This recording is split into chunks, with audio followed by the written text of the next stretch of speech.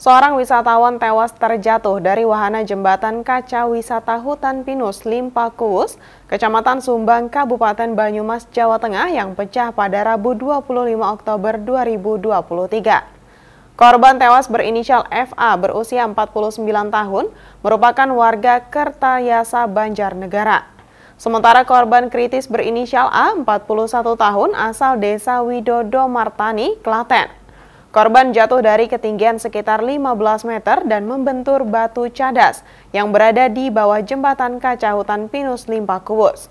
Satreskrim Polresta Banyumas telah memeriksa sejumlah saksi terkait kejadian tersebut. Pihak yang diperiksa termasuk pemilik dan pengelola jembatan kaca hutan pinus limpa kuwus Banyumas Kamis 26 Oktober 2023. Kasat Reskrim Polresta Banyumas Kompol Agus Supriyadi mengatakan, saksi sudah diperiksa berjumlah 9 orang termasuk pihak owner dan juga pengelolanya. Sementara diberitakan Tribun Jateng.com sejauh ini ada 12 orang saksi yang diperiksa. Kompol Agus Supriyadi menjelaskan pihaknya akan fokus dulu ke jembatan kaja yang ada di Limpakuus. Pihaknya mengatakan ada dugaan unsur kelalaian, namun masih menunggu hasil penyelidikan. Kompol Agus juga menambahkan keterangan dari pengelola pembangunan jembatan kaca De Geong tersebut dikatakan tak dilengkapi dengan uji kelayakan. Menurut Agus, semestinya jembatan kaca semacam ini harus memiliki standarisasi uji kelayakan yang dikeluarkan dari pihak terkait.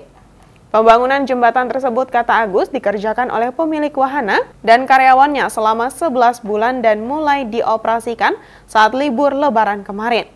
Adapun bentuk jembatan ini seperti letter T dengan panjang masing-masing sisi sekitar 15 meter dan tinggi 15 meter.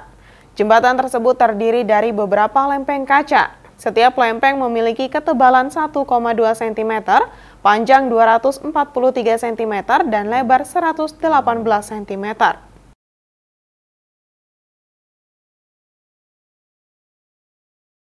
Jangan lupa follow Instagram, Facebook, dan YouTube kami untuk terus mengikuti perkembangan terkini berita Banjarmasin Pos.